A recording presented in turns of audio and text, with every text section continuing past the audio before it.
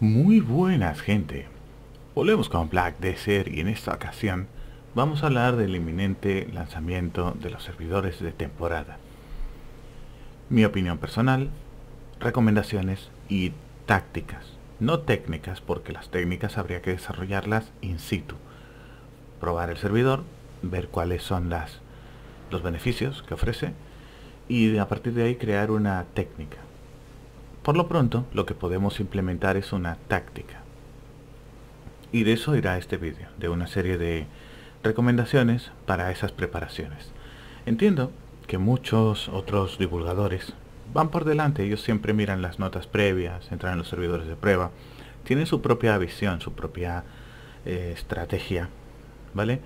Entran y la empiezan a implementar, van mostrando su gameplay, van mostrando el desarrollo que van haciendo.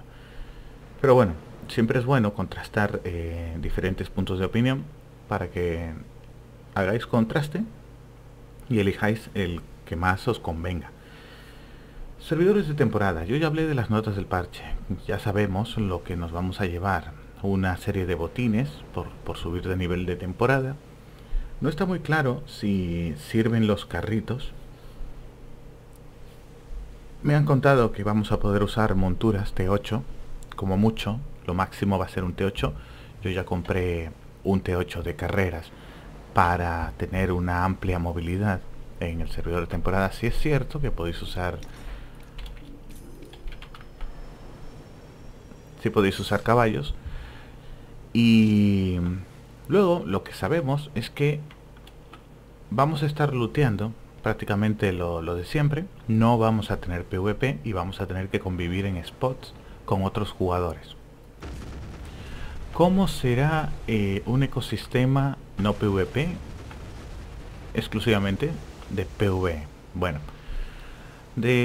para entender ese punto, para entender el beneficio, que no es pérdida, tengo que comentaros una, una idea que poco a poco está germinando, está desarrollándose. Existe la creencia de que los escenarios tienen eh, puntos de extracción. Me explico. Estas barras significan que es la, la cuantía de explotación que se ha efectuado en la zona. Esta tiene un 1%, vete a saber de qué es. Creo que la verde es de nodos. Creo, no lo recuerdo. Ahora lo tengo bastante olvidado. Y lo amarillo es la de comercio. Si vamos al Tinovas, no está tocada. Bueno, vamos a ver la barra amarilla de Valencia. No está tocada. Sin embargo, aquí hay una que está agotada. ¿Qué están haciendo aquí en, en Valencia que han agotado una barra de explotación? Es una lástima que no te indique lo que son, pero aquí también. Basar grano arena. Bueno, esto puede ser un nodo. Yo tengo aquí un nodo conectado de manera permanente que está extrayendo coco y va. ¿Y qué tal va? Pues él sigue, bien, pues él está extrayendo no, Eh, coco. ¿Aquí hay un spot de pesca? No creo que nadie venga aquí a pescar. Bien, pues independientemente de estas barras, yo creo que esto, el azul es la de pesca, la amarilla debe de ser algo referente al comercio y la otra debe ser nodo. Bueno, pues la cuestión es que nosotros tenemos la teoría de que existen barras ocultas aquí y alguna puede corresponder a Spot de grindeo. La empresa dijo que iba a desbloquear nuevos eh, secretos del juego, nueva información. Puede que empiecen a aparecer spots con estas barras, que son las barras de explotación. A medida que se esquilman los escenarios, los escenarios entran como en la pesca sobreexplotado. Entonces empiezan a dar menos variedad de objetos. Sin embargo, la explotación tiene que avanzar. No es lo mismo si tienes el spot todo, digamos que estás tú solo en Nagas. No es lo mismo que, que estés tú solo a que esté todo el mundo, cada uno en una rotación distinta. El nivel de explotación sería mayor. El juego puede que funcione así. La serie de jugadores hace un, una acción que yo denomino minado del escenario, y explota los spots, los, mm, las, localizaciones de criaturas. A medida que la explotación aumenta, el sistema tiene, tiene que entregar una serie de objetos. No es sencillamente que el RNG fije si va a haber o no, porque puede que el RNG se bloquee y diga no, definitivamente no doy nada. Y, ah, y, claro, seguimos ahí horas, horas y horas y nadie se lleva nada. Es bastante difícil de pensar en eso. Así que creemos que existe una barra de explotación en los spots de mobs. A medida que los vamos mirando, vamos obteniendo la variedad de objetos. Por ende, si una serie de jugadores están en, una, en un spot, el minado será mayor y la entrega de objetos por medio de ese minado será mayor. Y habrá un sistema que es el que dicta si te toca algo o no. Así que los servidores de temporada resultan una prueba extremadamente buena para poner, para poner en práctica esto precisamente. Spots donde hayan una gran afluencia de jugadores, podremos estar allí e interactuar en, en la zona sin riesgo a que alguno active el PvP eh, y te saque del spot. Si un jugador expulsa a un jugador en PvP, bueno, teóricamente el servidor de temporada no tiene PvP, esperemos que siga así, bien. Si un jugador expulsa a otro jugador de un spot y eso se multiplica por todos los jugadores, de 20 jugadores al final van a quedar solo 10. Como veis, estamos hablando de que se ha reducido a la mitad la velocidad de minado que se estaba realizando antes. Eso es lo que pasa en la actualidad. Los jugadores en su infinita ignorancia, por no prestar atención, creen que hay más riqueza estando ellos solos en el spot. No les entra ni siquiera la idea de que deja en paz a ese tipo que él está sacando beneficios y está inyectando dinero al juego. A ti te resulta más beneficioso que ese tipo se curre el capital y que lo inyecte al juego para que haya más riqueza. Puede que tú no te lucres directamente, puede que sea indirectamente, o puede que ni te coincida porque lo que él está haciendo no te coincida, vamos, puede que tú estés vendiendo contra chapados y ese tipo esté ahorrando para comprar joyería. Sin embargo, si tú pones una joyería en el mercado, hay unas grandes papeletas de que te lo compre un grinder, esa joyería. Por ello mismo, no es buena idea sacar agentes de spot porque te estás tirando piedras sobre tu tejado. Eso no lo quieren comprender los jugadores de PvP. Los jugadores de PvP insisten y persisten en que si hay un jugador y les incordia, están en su derecho de sacarlo del spot. Bien, estáis recortando a la mitad la velocidad de minado. Aunque este vídeo desde las temporadas de Black Desert es para que, para que entendáis el ecosistema que se, se va a generar en torno a los servidores de temporada la riqueza del juego, porque va a haber mucho menos conflicto, la riqueza del juego realmente sí va a subir un poco, solo un poco, no mucho, solo un poco. Pero lo vamos a notar. Vamos a notar que va a haber más riqueza. Que es lo que siempre comenté, es mi meta del juego, aumentar la riqueza, la variedad. La variedad de jugadores minando el escenario, inyectando más capital al juego y el juego va exponencialmente creciendo. Al final vamos a producir una deflación en los costes de las cosas y va a permitir que más gente acceda a ellos. Eso les va a aumentar, su nivel de potencia les va a permitir acceder a nuevas zonas y el nivel de minado será mayor. Bien, esa es mi visión total de Black Desert. Es muy acertada. ¿Está justificada? Tiene unas, unos grandes pilares es correcta, o sea, funciona a la perfección. Lamentablemente estos proyectos no, estos hay que ir viendo cómo se van desarrollando y, tú te vas dando cuenta de en qué parte, en qué punto tenías razón y en qué punto no la tenías. Bien. La cuestión es esta, los servidores de temporada van a dar una riqueza extra al juego, una cosa que le viene muy bien. ¿Le hace falta? Sí.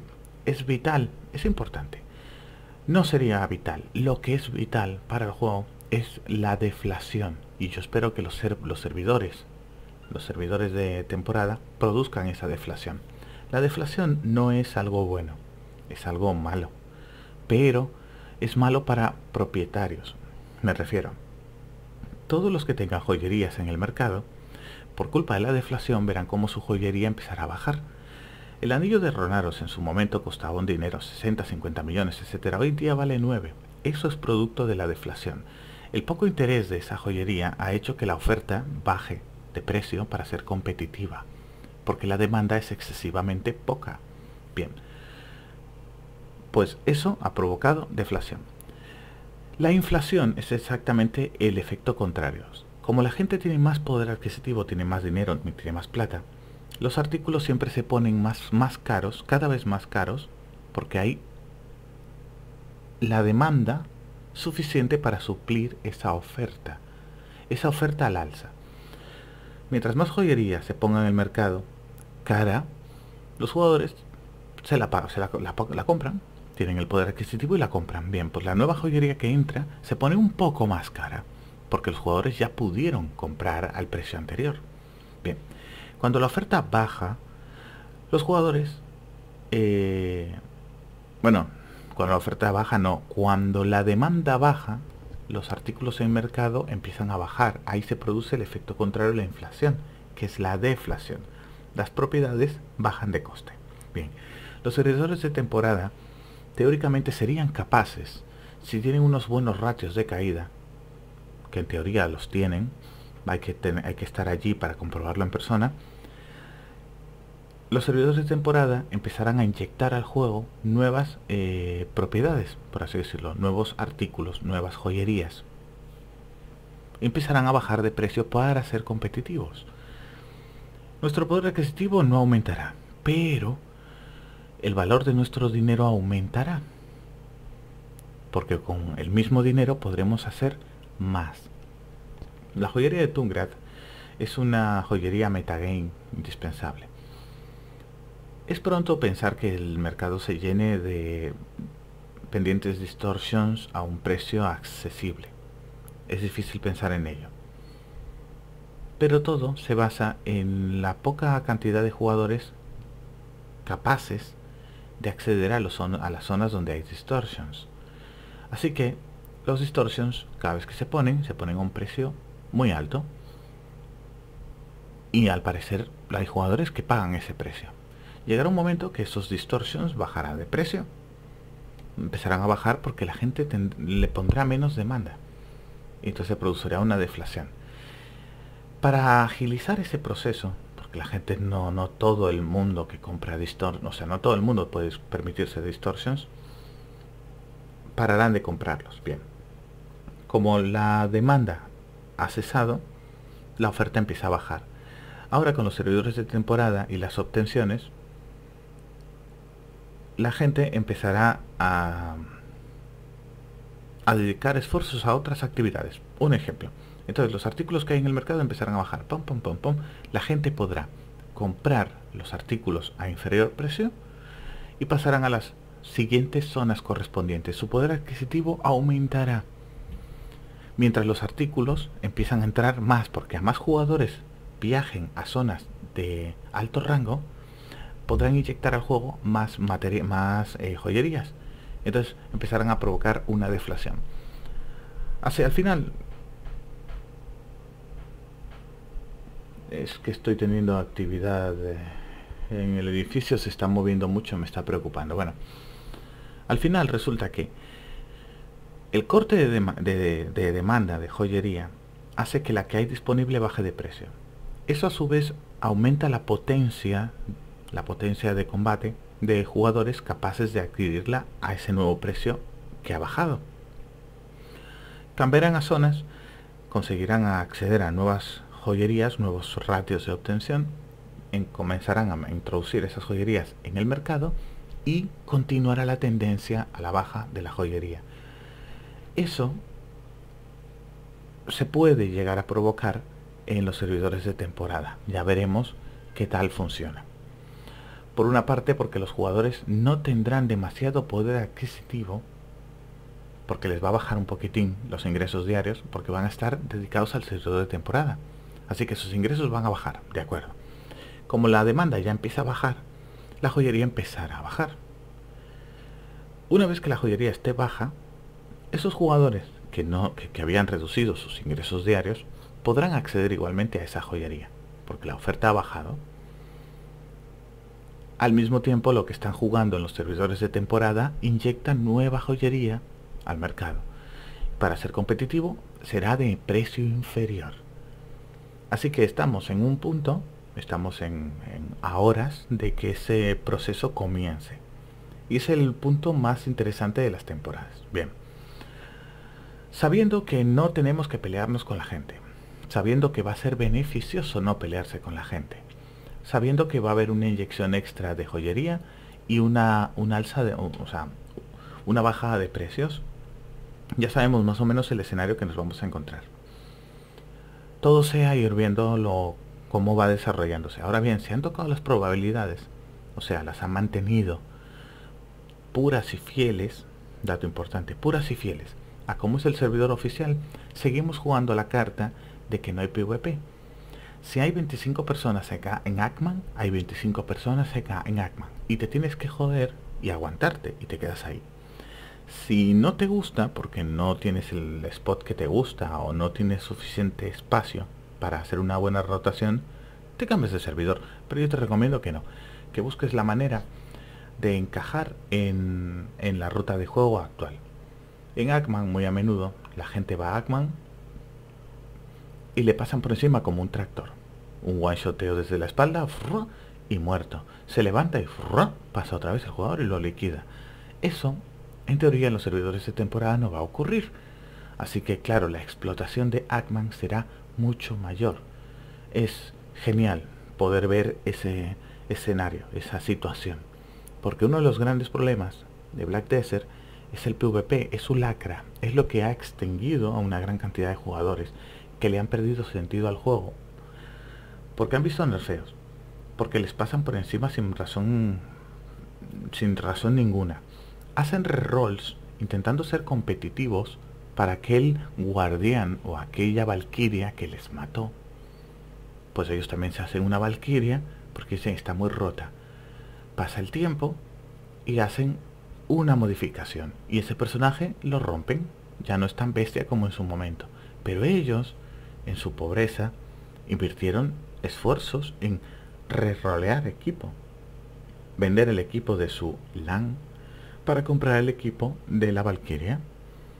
Es contraproducente para tu partida, eso ya se habló, pero ese pequeño movimiento es suficiente motivo para quitarle el sentido al juego porque te han roto tu juego, te han roto tu partida. Por eso yo nunca hago rerolls y si empiezo un personaje nuevo, lo empiezo nuevo del todo, desde el principio absoluto. Y dirás, ¿y cómo te vas a currar las armas PEN? Me buscaré la vida. Yo siempre he dicho, si a mí me tiran al monte, no es darle de comer a los animales. No, no, no, que se den por jodido todos los animales del bosque. Pero hay personas que si las dejas solas, solas en el bosque, estás dando de comer a los animales. ¿Vale? Son visiones distintas del mundo. La cuestión es esa. No nos dejan, en muchas ocasiones, jugadores pasados de vueltas, no dejan a otros jugadores, a mí incluido, ¿eh? no nos dejan estar en ciertos spots, nos liquidan. Eh, ahora no, ahora parece ser que con el PvP deshabilitado, cada uno tendrá que currarse lo que pueda en cada spot. Si no estás conforme, te cambias. Yo recomiendo que no cambiéis.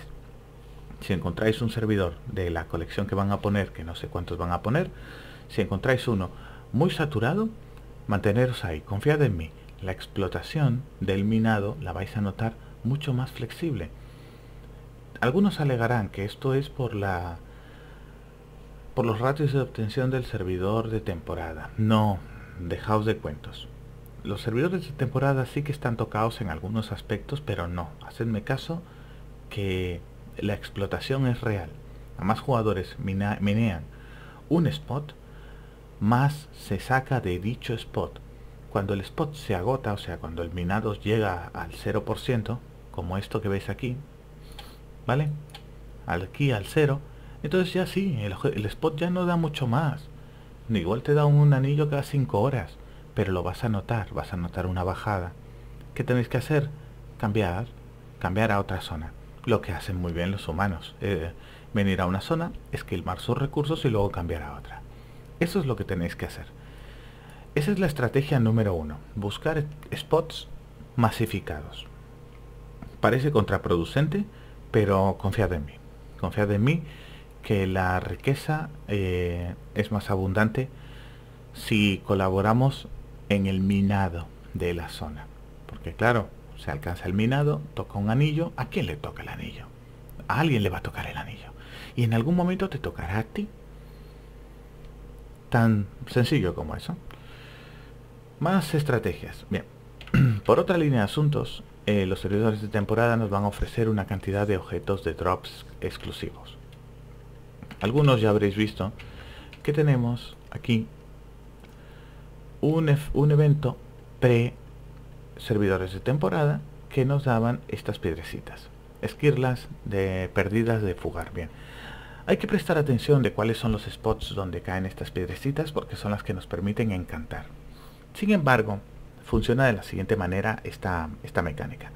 Las piedrecitas se consiguen en misiones diarias y las vamos a ir también granjeando de enemigos. El radio de caída, si lo tomamos como ejemplo de los servidores normales, lo que he jugado, que sepáis que estas 19 piedrecitas simbolizan unos 5.000 rónaros. Así que yo creo que el farmeo de estas piedrecitas va a tener tela marinera. Pero las, se van a hacer por misiones diarias. El servidor de temporada está basado en hacer una línea de misiones todos los días. Una línea de quests de fugar. Por otro lado, tenemos que hacer el modo historia, recomendable para desbloquear los espacios del personaje, los conocimientos y el peso. Además, no podéis acceder a Cama Silvia, una zona bastante interesante para el desarrollo del personaje, y ahora os contaré por qué. No podemos acceder a Cama Silvia sin antes hacer el modo historia. Muy bien. Es importante que recordéis que el nivel 61 os lo regalan. Al nivel 61 os dan una joyería Tubala Pen como recompensa de llegar al 61. El 61 es un regalo, prácticamente por ciertas modificaciones drásticas que se hicieron en el juego. Y hablo del libro de... ¿Cómo se llamaba? El libro de Chenga. Podéis buscaros una, una guía por internet en la que hablen del libro de los Shenga cuando acabéis el modo historia, o sea, Valenos, Serendia, Calpeón, Media, Altinova, o sea, Media, Valencia, y ahí cuando acabáis Valencia, podéis acceder a Cama Silvia. En Cama Silvia tenéis que buscar el, el tutorial del libro de los Shenga. Cuando consigáis el libro de los Shenga, lo conserváis. Y no hagáis Cama Silvia hasta que no subáis al 60. Dato importante, muy muy importante. Una vez que seáis nivel 60, vais a Cama Silvia, hacéis la línea de misiones y la lista de secundarias de Cama Silvia.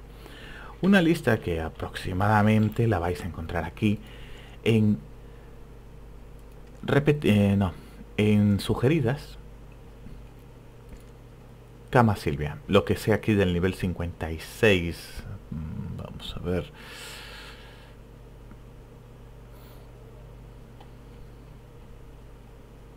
No, sugeridas, la misión principal, mm, repetibles no es. Repetibles desde luego que no. Podéis hacer algunas repetibles de Cama Silvia, pero no, no es lo que queremos hacer.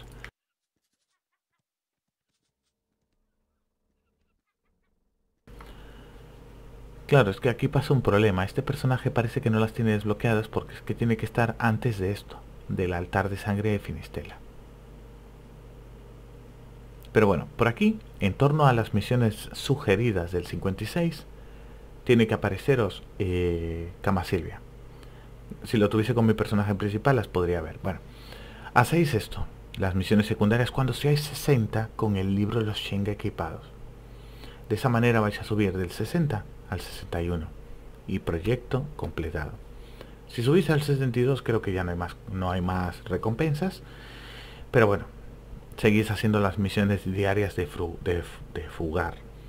Y esta es la segunda estrategia. La primera, recordarlo. No, no rehuyáis de spots masificados. La segunda, libro los Shenga. no dejar de lado las misiones diarias de fugar, hacer la historia, pero con miras al libro de los Shenga. El 60, ¿cómo se sube al 60? El 60, 59, 60, se usan dos spots. Uno es Nagas, eh, por aquí, quita esto, quita esto. Uno es Nagas, ¿vale? Sencillito. Y ya os hablaré de rotaciones en Nagas y de spot de Nagas. Porque tiene spots secretos. Estas montañas por aquí tienen sus recovecos en donde hay una, vamos, una estepa llena de nagas y son fáciles de liquidar porque vas de un, de un núcleo a otro. 59.60 aquí. Eh, y luego tenéis para recargar aquí, muy cerquita. Otros jugadores suben al 60 en Pilacu. No, en Pilacu no, era aquí en... Ah, creo que sí que era Pilacu, sí. Creo que entran aquí a la cárcel de Pilacu. Al fondo, al fondo hay un... Hay una especie de escalera y vais peleando por ahí. Hacen esto, pero como veréis, la distancia es muy grande. ¿Vale? Entonces, claro, eh, funciona muy bien el 60 aquí. En, en Nagas. Otras opciones ya sería, pues, no sé, entrar en territorios de Driega. Si tenéis el PA, quizá las ruinas de Tesira, pero es mal sitio, pues están muy separados. Esto lo podéis ir... Sherekans, no, desde luego. Y aquí es que no vais a poder entrar si no hacéis la historia. Pero si hacéis la historia, el 60 lo vais a poder hacer... Si cumplís con esto, que lo dudo, porque 240 es bastante AP, a no ser de que tu bala suba mucho. Si tu bala sube mucho, muy fácil, y os plantáis en TED rápidamente, venís a Mashaun o a Miru, a Miru en parte, y Mashaun podéis venir solo. Mashaun da mucho capital y da un, un XP aceptable. Ronaros da un XP razonable, pero da la mitad que Mashaun. Esas cosas, fijaros, cuando vayáis a un spot, fijaros en el coste de la basura. De esa manera vais a crear un equilibrio de que os interesa más. Invertir aquí 8 horas para subir y ganar un X de dinero. O invertir aquí 4 eh, horas y un X de dinero. Aquí 5 horas y otro X de dinero. Bueno, ya me vais entendiendo. Eso ir, ir cuadrándolo. A priori tenéis que buscar un spot, que es la parte difícil. Tenéis que buscar un spot de MOVs del 60, del 59 al 60. Aquí también se podría subir del 59 al 60. Yo del 59 al 60, y es excesivo, no lo recomiendo, me lo hice aquí, en mina de, en mina de hierro, farmeando élites. me hacía el escenario entero, pero claro, me hacía la rotación de élites enterita, luego cambiaba el servidor, me hacía todo lo que pillaba y los élites. A lo largo de un periodo subía al 60. También se sube muy bien aquí en tumba del reposo del 59 al 60, pero aquí es eh, vais a recibir ataque constante. Os van a terminar rompiendo las armaduras a corto plazo. Son bastante persistentes.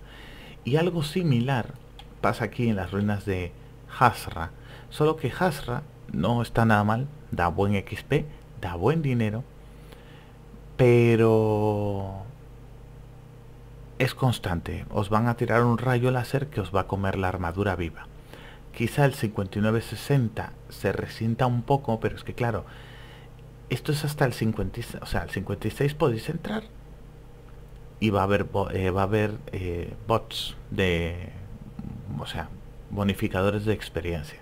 Así que este puede servir. Solo eso, que aquí rompen la armadura una barbaridad. Y si la tenéis que recargar, vais a tener que venir aquí a Tarif. Y en cambio, aquí, si la tenéis que reparar, pues podréis llegar a Heidel rapidito. ¿Vale? De hecho, creo que... Sí, Heidel es lo más, lo más cercano. O Tarif. Bueno, Tarif es lo que os va a tarjear. Si salís de Reposo Eterno, pasáis por aquí, pum, pum, pum. Tarif. Reposo Eterno, Tarif sería lo más cercano. Bueno, pues ya vais entendiendo. Esa es la segunda recomendación, subir al 60. Una vez al 60, haces la línea de quest de Cama Silvia. Con la línea de quest de Cama Silvia subiréis al 61, asunto arreglado, ya tenéis la segunda pieza de tu bala en pen. Y con eso iréis sumando mucho, mucho AP para ir avanzando en, el juego. Aún así, importante, eh, os van a dar una. Recordar, vamos, si subís al 61 os vais a ver con dos joyerías pen de tu gala. Son seis, así que las otras cuatro las vais a tener que currar vosotros. En ese sistema pues no tengo ninguna estrategia porque tengo que verme en el escenario. Más cuestiones sobre los servidores de temporada. Voy a coger esto para jodas. Más cuestiones. Eh, pues bien, el servidor, a medida que vosotros subís de nivel, vais a recibir diferentes bonificadores. Bueno, recompensas, que bonificadores no. Como una pista muy muy similar, y de hecho esto lo copiaron fijo de Destiny 2, tenéis una pista de pago y una pista gratuita. No están malas, no están ambas ninguna de ellas. Ahora bien, y esto es un dato importante para que lo tengáis en consideración. La pista de pago incluye unas cajas que se llaman, vamos a ver si las puedo ver por aquí. Sí, perfecto, mirad. Cofre brillante de Shakatu. Este se ha vuelto una constante, este, este cofre. A cada nivel que saque un jugador, sacará una de estas cajas. Tienen de media, no sé, creo que llegue a ver 8 cajas cuando hace la pista entera de niveles. Así que 8 cajas las va a sacar. Ojalá le salga mucho TED, porque hará que baje el precio de la joyería TED. Pero de estas cajas, Ojo de la Ruina Baltarra Distortions, Consejo de Valks... Tenéis que fijaros en esta caja y si algo os interesa, preorder. Magia concentrada de Bell, cinturón de Tungrat, y nada más. Bueno, esta, por otro lado, cofre de aventuras radiante, esta es la que nos interesa. Esta no me parece haberla visto en, en la línea de temporada. Este detalle es importante. No me, no me parece haberlo visto. Quizá haya uno o dos paquetes de este en concreto en el de pago. Fijaros en la línea de pago. En la línea de pago, digamos que vosotros sois eh, no pago, no pagáis. Bien, pero fijaros en la línea de pago. Si veis cajas de este tipo, no esta en concreto, una de este tipo, que incluya evento conjunto superior aspecto, perfecto. Eso significa que va a empezar una nueva tendencia de, en el market de aparecer nuevos objetos de perlas, o sea, trajes, cofres. Podremos preorder y esos trajes son destinados para romper por crons. Así de sencillo. Cada vez que se introduce un contenido y este contenido incluye objetos de perlas, nosotros ya los tenemos bien claro.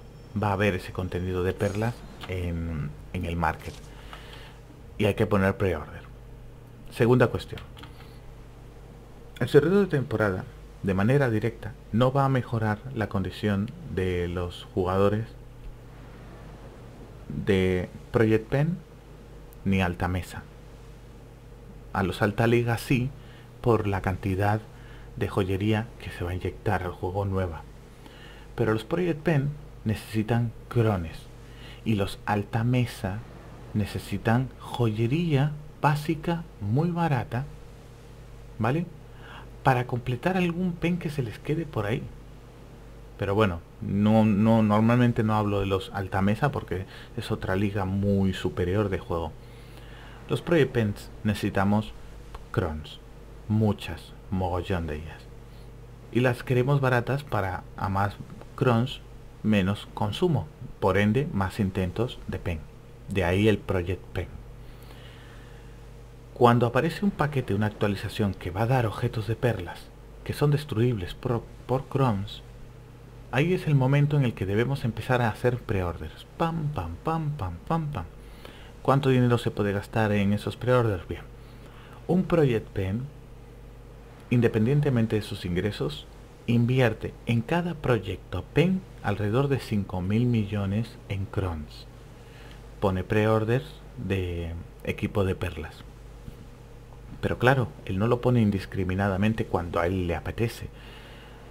No, a veces espera, tan sencillo como eso, eh, ahorra capital y cuando ve que va a venir un contenido que incluye perlas, todo ese capital ahorrado a preorders y empieza a poner preorders de equipo de perlas. Vale. Esta estrategia a veces duele un poquitín pensar, va, oye, esta es mi estrategia, tampoco me la voy a dilapidar, pero bueno, lo cierto es que necesitamos eh, un empujón. Todos necesitamos un empujón y el mercado tiene que moverse, tiene que aumentar más agilidad. Y aunque yo ayude a jugadores con mis técnicas personales a sacar pens, lo cierto es que ellos con esos pens, yo supongo que ah, producirán la deflación que también me es beneficiosa. Y lo cierto es que si yo tengo que valorar entre enseñar a la gente cómo se desarrollan los project pens a cómo se producen deflaciones para poder fabricar joyería TET y pen, pues yo prefiero la, segunda opción. Liquido mis opciones sobre project pen ¿vale? Las hago más, las estrangulo un poquitín, las hago más difíciles para mí, por haber transmitido ese conocimiento, pero consigo que más jugadores consigan poder, aumenten el minado del juego y, la, y se produzca deflación en joyería porque ellos grindean más, minean más e ingresan más joyería en el market, produciendo que la que hay baje de precio, deflación. Así que bueno, esto tomároslo como otra estrategia para el servidor de temporada. Promedio del servidor de temporadas, yo creo que va a durar unos tres meses. Alegremente en dos semanas lo tendremos todo hecho y a lo largo del tiempo lo único que vamos a estar haciendo es las misiones diarias y lucrarnos de algunos beneficios extra.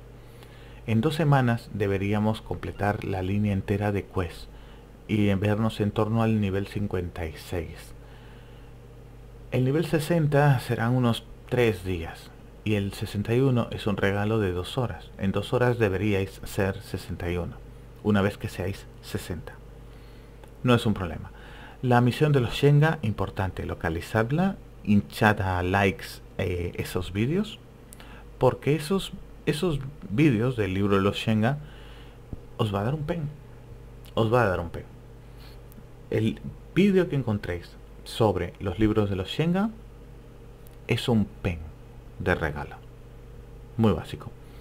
Ya tiene que ser muy mala que hayan modificado el sistema y hayan anulado el, el level 60 al 61. Lo dudo mucho.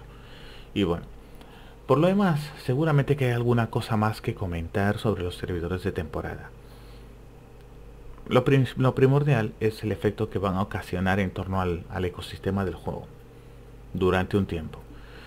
Van a quitarle peso, y esto puede ser contraproducente, va a quitarle peso a los servidores normales en muchos spots normales. Tipo, yo estaba en Ronaros, va a haber menos gente. O la gente de Miruk, va a haber menos gente en Miruk. Aunque yo supongo que un level 63, que está intentando subir al 64, continuará su proyecto de subir al 64. O también la gente intente romper el juego el primer mes con el servidor de temporada.